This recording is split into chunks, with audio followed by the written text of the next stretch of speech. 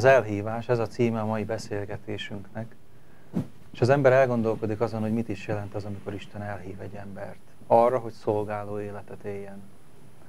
Egy kedves idős prédikátornak egy története jutott az eszembe, aki azt mondta el, hogy hogy meglepődnénk azon, ha egyszer csak kopognának az ajtónkon. És amikor kopognának az ajtónkon és kinyitnánk, akkor egy neves, mondjuk agysebészt találnánk ott, aki azt mondaná, hogy szeretném, hogyha mostantól ön lenne az asszisztensem a műtéteimen. Valószínű, hogy szabadkoznánk, és azt mondanánk, hogy talán eltévesztette a címet, de biztos, hogy én erre nem vagyok alkalmas. Tulajdonképpen mire is hívja el az Isten az embert?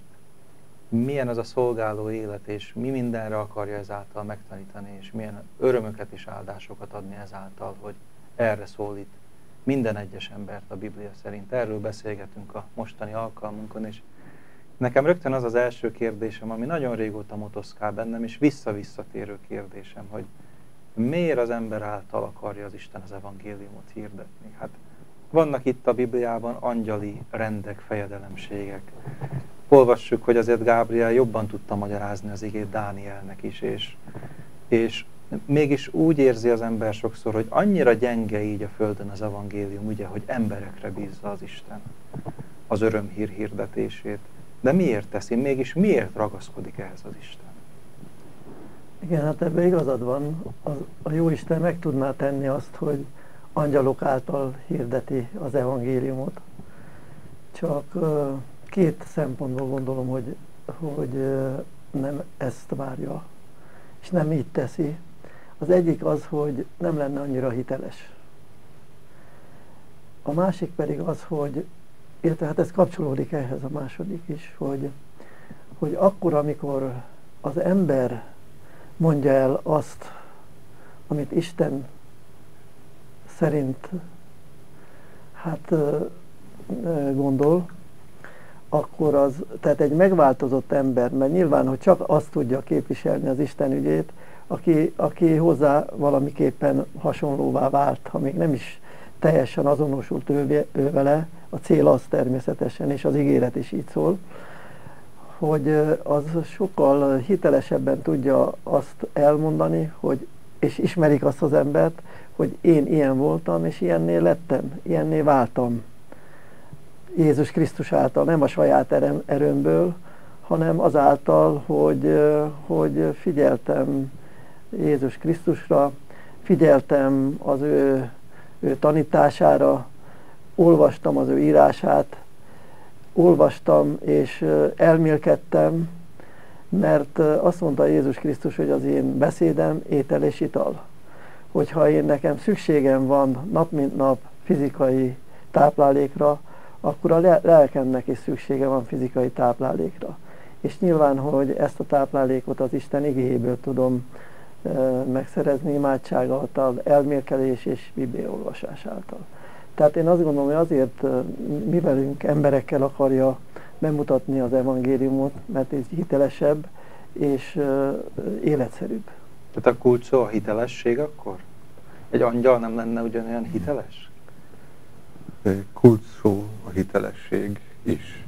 Találtam más választ még, ami számomra nagyon-nagyon betöltötte örömmel a lelkemet egy általam tönkretett kapcsolatot bocsájtott meg a Jóisten a kereszten. És ez a, ez, a, ez a bocsánat, ez annyira teljes, hogy még munkatársául is fogad. Olyan megelőlegezett bizalom feszül ebbe, ami, ami azt gondolom, hogy az ember csak áll, és megakad a szava. De nézzünk nagy hithősöket is, például Dávid a bűnesete utáni Zsoltárban azt írja, hogy hogy ismét taníthassam a te népedet, a te e, lényednek a, a valóságára. Tehát ez az egyik legfőbb motiváció, amit szeretne. Péter a háromszori megtagadás után, miután Krisztus felteszi a kérdést, hogy szeretsz-e, jobban szeretsz-e, ott is a válasz az, hogy legeltesd az én nyájomat. Péter, igen, megint munkatársamul hívlak. Segíts az embereknek, hogy megértsenek engem. Nagyon nagy szeretete. Tehát azt gondolná az ember, hogyha egy bűntelen lény beszél a bűnös embernek az Istenről, az hitelesebb. De, de ez csak látszólag van így. Mert ha egy bűnös lény, aki viszont megszabadult, hogy lehet, megtapasztalta, hogy lehet szabadulni, beszél erről, akkor az emberek hitelesebbnek élik meg. Ebben a kapcsolatban, hogyha ez így, ez így összeáll, tehát az Isten az embert asszisztensének hívja, maradva az eredeti történetnél például, és azt mondja, gyere együtt gyógyítunk tovább. Na de mi, mi, mi az egyik része, mi a, tehát mi a mester része, mi a, mi a tanuló része, mert, mert az Isten eztán azért is mondja, mert azt mondja, hogy ezek szerint nélküled én nem tudok győzni ezen a földön, ugye, mert nekem hitelesség kell itt, hitelesség helyreállítás, és azt általad. De egyértelmű, hogy azért nekünk van nagyobb szükségünk rá, nem? Így van. Éppen ez a csodálatos van, hogy miközben az ember ezt a Isten együtt teheti, egyre teljesebb és egyre pontosabb Istenképe lesz. Hiszen a megismerkedés is egy nagy öröm, amikor az ember először fogadja be az Isten lényét, és érti meg az ő önzetlen nagyon nagy szeretetét, de ahogy mennek előre a napok, a hetek, a hónapok, egyre teljesebb és egyre, egyre megérthetőbb lesz magam számára. Az ember, amikor erre a feladatra tekint, megint maradjunk az alappéldánál, hogy egy agysebésznek segíteni annyiban azért nem távoli ez a példa, hogy tulajdonképpen az emberek gondolkodásában, az Istenkép helyreállításán fáradozni. Tehát ilyen benyomásokat, ilyen jó gondolatokat vetni, ez valami hasonló gyógyító munka, nem? Ö, hogyan tanulja ezt az ember? Mi az ember része abban, hogy ezt, hogy ezt jó sajátítsa el, hogy ez biztos, hogy egy fejlődés, egy tanulás legyen a számára? Mi, mi kell ahhoz, hogyan kell ahhoz magunkat látni, hogy tudjunk segíteni másokon? Érdekes nekem az a történet, és biztos ti is ismeritek, amikor, amikor Péter apostol ekkor még tanítványként Jézust befogadja a hajójába, és azt tapasztalja, hogy ő bár egész éjszaka halászott, nem fogott semmit. Jézus pedig azt mondja, hogy vessétek ki itt és itt a hálótokat nappal, pedig abban az időben az eredménytelen halászás biztos záloga volt a, a nappali halászat, és azt mondja, menjünk ki nappal, és vessétek itt, és ki fogjátok fogni. Tehát Jézus beszél arról, amihez nem ért, és tanácsot ad, Péter pedig, amihez ért, azzal ellentétesen kell cselekedjen, mégis azt mondja Jézusnak, hogy mindazáltal a te szavadra kivetem a hálót, és rengeteg halat fognak. Tehát megtapasztalja azt, hogy Jézus elhívásában több van, mint amit ő, mint amit ő gondol magáról, hogy ő mire lenne képes, vagy mennyire ért a maga mesterségét, azt mondja erre Jézusnak Péter, hogy eredj el én tőlem, mert én bűnös ember vagyok. Van ennek a Péteri magatartásnak, ennek, ahogy letérdel Jézus előtt a hajóban, van ennek valami tanítása arra nézve, hogy mikor jó tanítvány az ember? Vagy hogy mit jelent jó asszisztensnek lenni? Ahhoz, hogy én jó asszisztens legyek, ahhoz nagy alázatra van szükség. Egyrészt, másrészt pedig engedelmesség. Mi ez, hogy alázat? Az emberek írtóznak ettől a szótól, azt mondják, hogy az alázat az egy ilyen alázatoskodás, egy ilyen felvett, megjátszott póz. Itt pedig azt látjuk, hogy az alázat a kulcs. De mi ez az alázat? Hát az, azt gondolom, hogy alázat az, hogy én tudom magamról, hogy, hogy, hogy én nem vagyok képes önmagamtól semmit sem megtenni.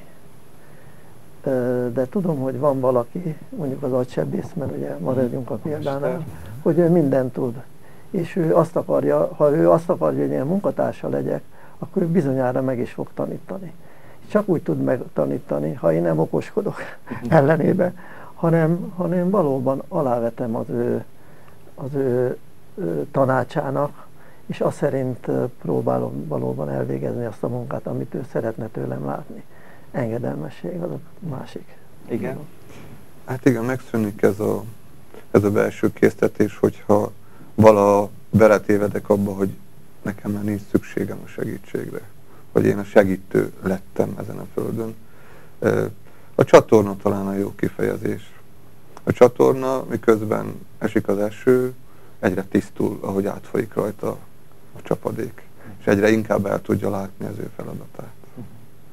Tehát, hogy az ember belátja, jól értettem, hogy a képtelenségét, tehát először is elhívtál, de ezt, ez erre én alkalmatlan vagyok. Ez pont ellentétes a természetemmel, ugye?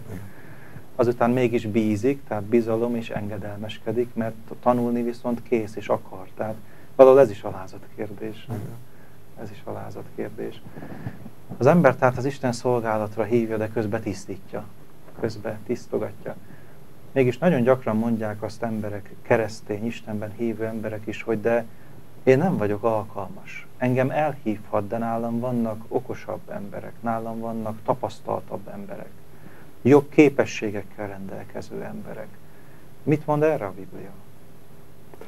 Hát talán a... Ez nem lehet kibúvó az elhívás alól? talán a gadarai példát hadd hozzuk ide, ahol egy teljesen elhasznált élet volt, őrült volt ez a két megkötözött ember, és mégis olyan munkát végeztek Krisztus jellemének a megmutatása mellett, hogy amikor egy jó pár évben, évvel később missziós emberek érkeztek arra a tájékra, nagyon-nagyon sok ember ismerte meg Krisztusnak a jellemét, ismerte az Istentől jött szolgálatát. Nincs alkalmatlan ember, és nincs alkalmatlan helyzet. Tehát én is így voltam, hogy amikor kezdtem megismerni a Szentírást, kezdtem megismerni, vagy megismertem Jézus Krisztus felszólítását, hogy menjetek a világba és hirdessétek az evangéliumot. Akkor én nagyon megijedtem, hát mondom, én nem tudok prédikálni, én nem tudok jól beszélni, én sok mindent nem tudok.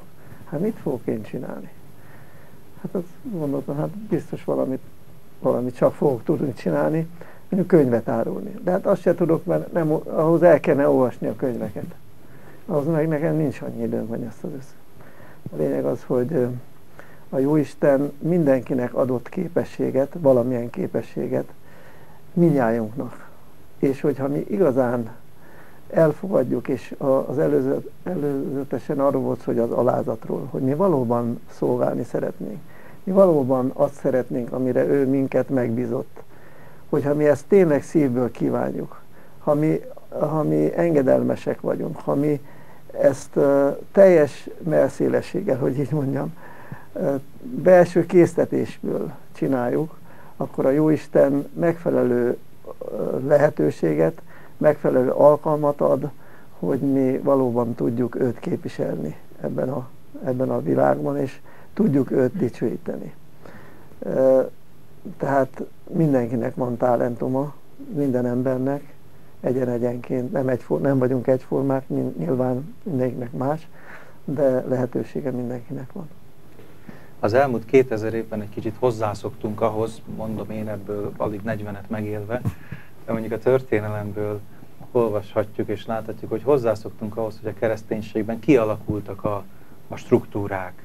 Tehát én ülök a padba, valaki pedig fent egy szószéken beszél, és én engedelmesen hallgatom, jó esetben éberen hallgatom esetleg. Ezzel szemben hogyan értheti a Biblia azt, hogy hogy, hogy az új szövetségben az egyháznak nincsen egy külön papsága, hanem minden egyes hívő keresztény Isten papja. Ugye ez, ez egy nagyon érdekes tanítás, amit éppen Péter apostol, ugye, akire sokat hivatkozott kereszténységünk, igyekszik a hierarchiát, a rendszert felépíteni, éppen ő mondja azt, ugye, hogy, hogy királyi papság van, tehát hogyan értsük azt, hogy, hogy itt, itt tényleg minden embernek dolga lenne az evangélium hirdetése, vagy dolga az evangélium, feladata az evangélium hirdetése? Érthetjük így. Nem, nem ülhetünk passzívan a padban tovább? Én azt gondolom, hogyha megismertük a Jóstent, nem is tudjuk megtenni. Tehát képtelenek az, képtelen erre az ember. Ez egy belső hatalmas nagy késztetés. Az új szövetségben szerette volna végre Jóisten, amit az Ószövetségben nem sikerült néki. A törvény adás előtt olvashatjuk a 2 Mózes 19-ben, hogy Istennek az volt a terve, hogy papok birodalma lenne az ő népe, aki hiteles módon képviselik, bemutatják Istennek a jellemét, szeretetét, akaratát. Ha ez jól működött volna az Ószövetségben, akkor ennek mi lett volna a gyümölcse, vagy ezt hogyan képzeljük el?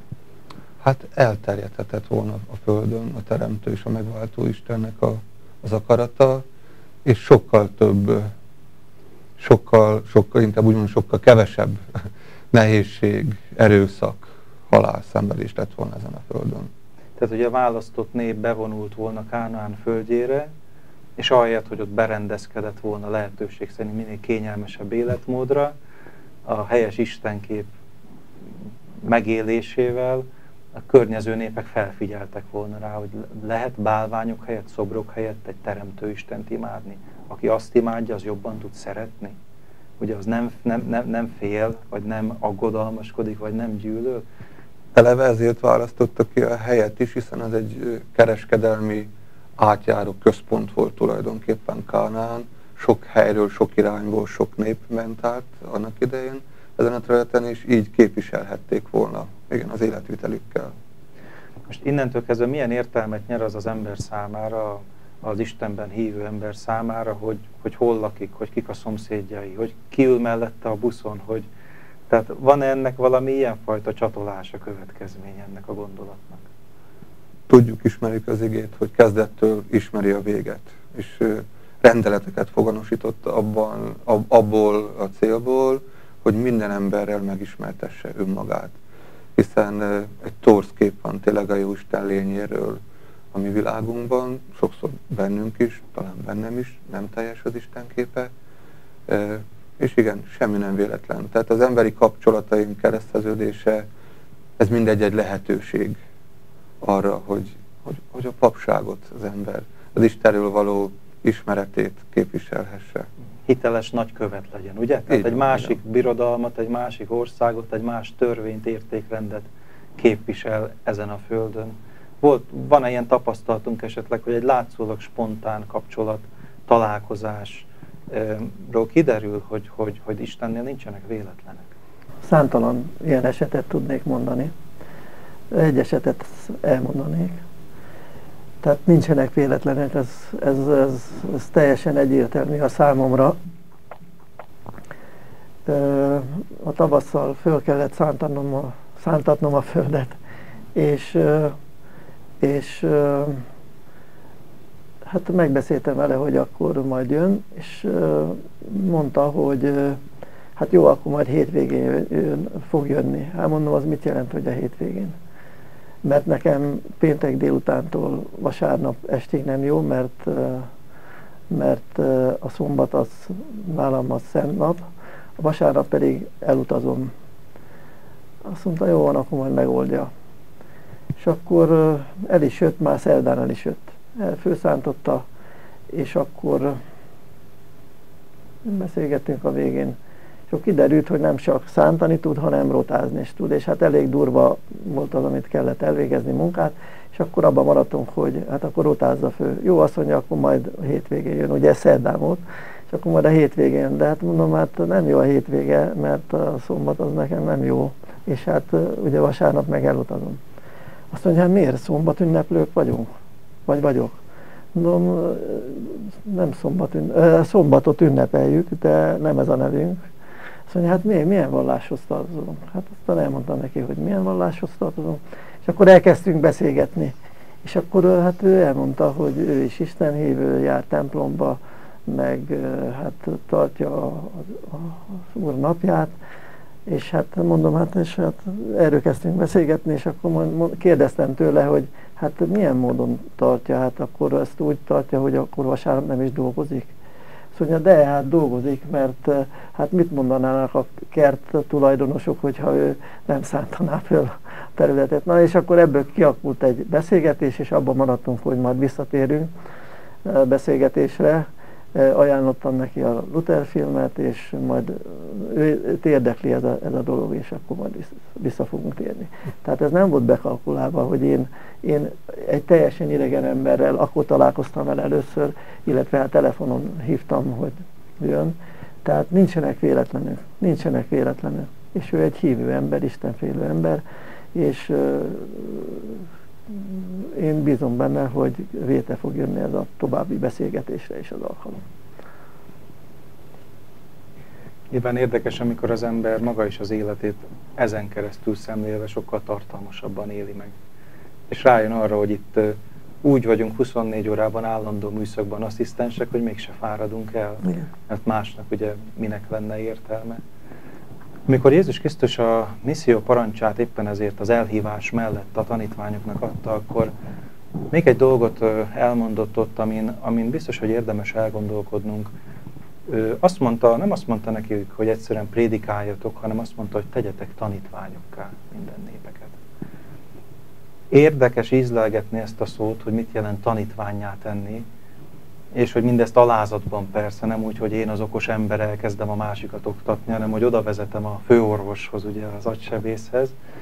De hogyan ragadhatjuk meg ennek a, ennek a, a, a tanulságát, hogy, hogy mivel bízott ránk itt többet Jézus annál, mint hogy esetleg igaz vagy okos dolgokat mondjunk embereknek? Mit, mit jelenthet ez a tanítványátevés? A tanítványátevés egy életvitelt jelent tulajdonképpen.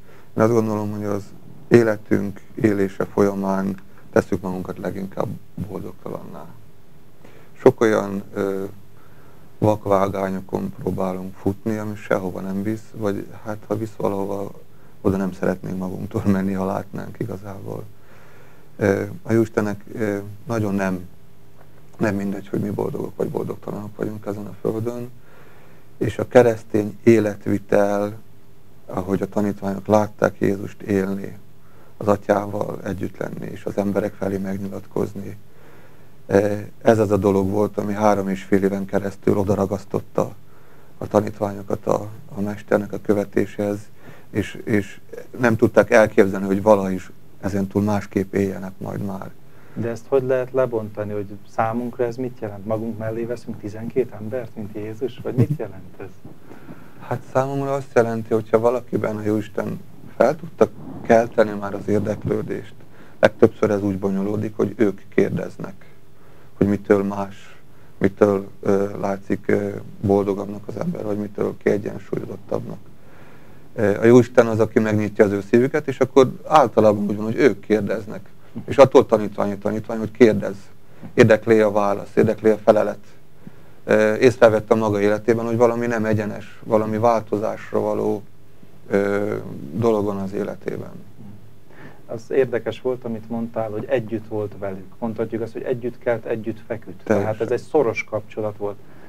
A, annak, abban, hogy az egyik ember a másik embert Isten felé vezeti, legalábbis részt vesz ebben a munkában, abban milyen szerepe van a személyességnek? A személyességnek nagyon nagy szerepe van. Tehát, hogyha én nem csak mondom, mondok valamit, nem csak tanítok, hanem az életem visszatükrözi azt, amit tanítok, akkor arra odafigyelnek az emberek. Sőt, inkább arra figyelnek oda, hogy milyen az én életvitelem, hogy valóban segítőkész, valóban azt figyelem, hogy a másiknak mire van szüksége.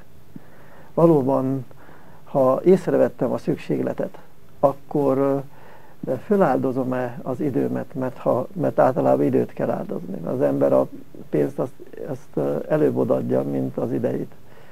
De hogy valóban akkor ezt megteszi-e, mert az emberek fölfigyelnek. És ez valóban Jézus példáját követve be tudjuk őt mutatni. És ez, ez, ez általa van, ő általa. Ő munkálta ezt bennünk. Ezt nem mi magunk hoztuk létre magunkba, hanem ő. Igen, Tibor. Mindezek mellett azért mondjuk ki, hogy Jézus az atyához vonza őket. Tehát nem mi vagyunk a lényeg ebben az egész történetben, hanem a mi Istennel való megért közös, közösségünk az, ami vonzóvá teheti ezt az egészet, és a tanítványát tevés tulajdonképpen ennek az egész lényege az, hogy segítsük az embereket az Istennel való személyes közösségre eljutni, és ott hagyni nála.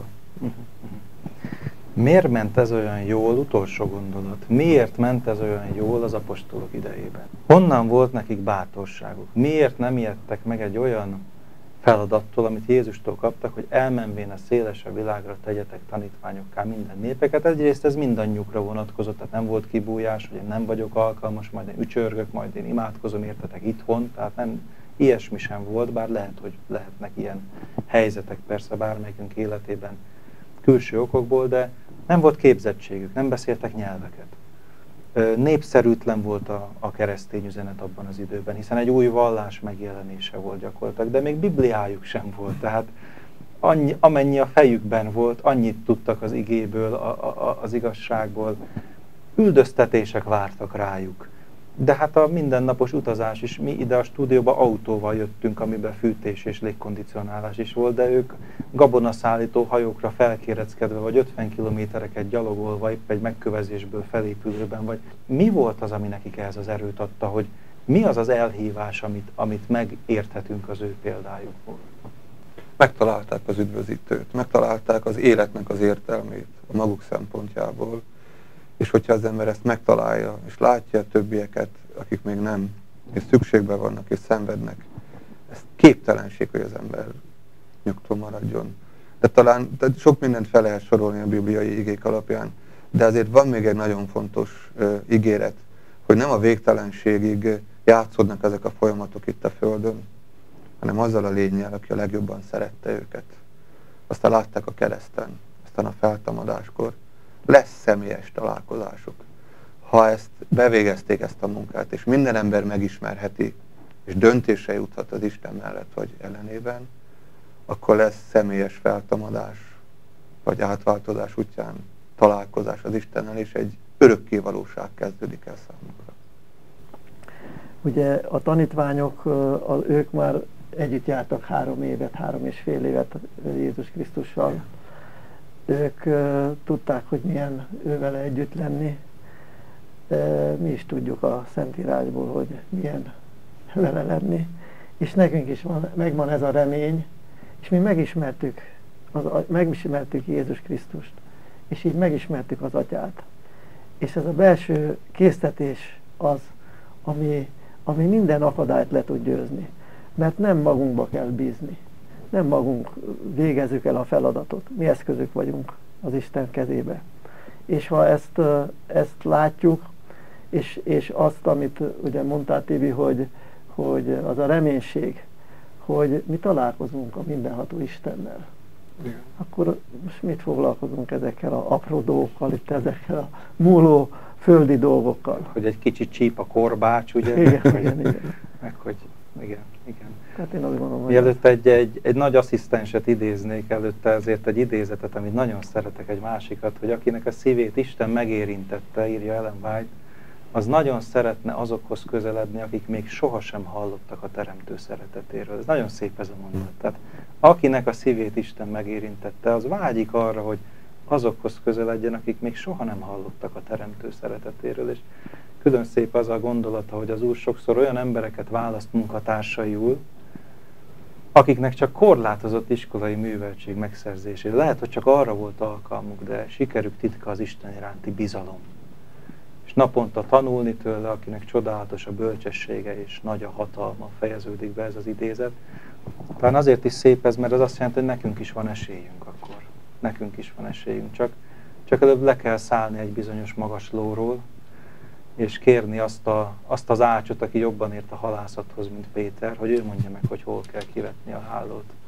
Tisztelve mindazokat, akik sokat tanulhattak, és a tudásukkal segítik a mi világunkat jobbá tenni, a korintusbeliekhez írott levélből had egy, szakaszot, ha egy szakaszt hadd idézek fel, mert tekintsétek csak a ti hivatásotokat, atyám fiai, hogy nem sokan hivattak bölcsek tesz szerint nem sokan hatalmasok, nem sokan nemesek, hanem a világ bolondjait választotta ki magának az Isten, hogy megszégyenítse a bölcseket, és a világ előtleneit választotta ki magának az Isten, hogy megszégyenítse az erőseket.